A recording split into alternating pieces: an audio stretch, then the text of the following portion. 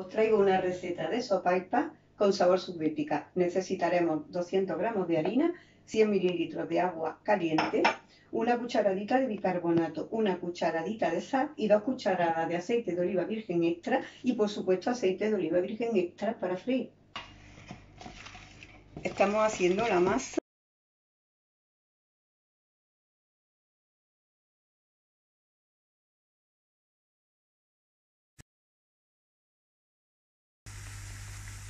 Aquí tengo la, las piezas ya, eso es una bolita, luego con el, con el rodillo.